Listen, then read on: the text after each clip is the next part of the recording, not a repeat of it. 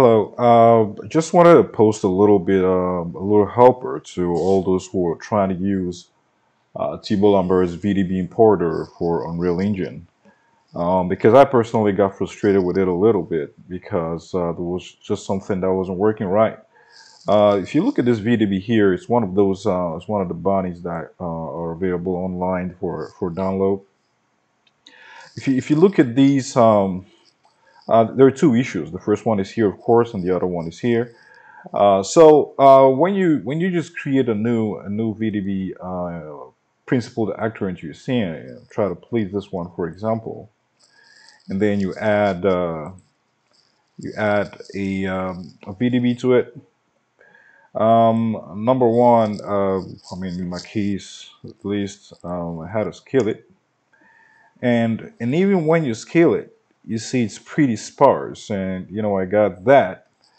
And uh, try to play with with these values um, but you know I think the thing is the default values need to be different. Um, I may be wrong um, uh, you know if Thibault is watching this video you could correct me.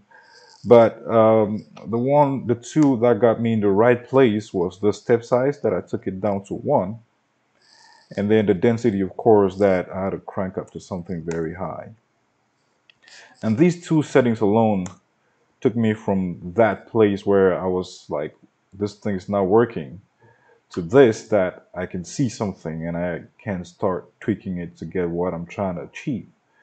Uh, so, you know, if, if anybody's having that kind of issue, um, that's their solution.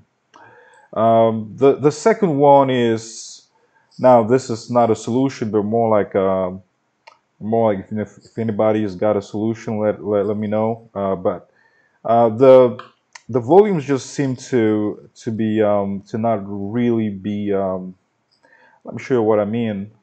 Uh, if if I take this one for example here, uh, if I try to move it behind the other one, oh, what you realize is that it just suddenly uh, like clips. Like there is no there is no, I mean, you would want to think some sort of depth in, in the volume that they could really intersect in the 3D space.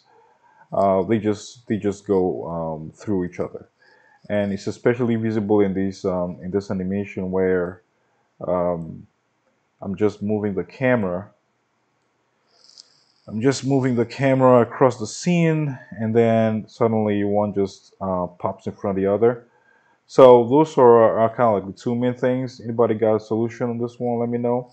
But for that one, as I said, that really got me like, I, I mean, this thing's broken or something. Uh, that's how I finally was able to solve it. So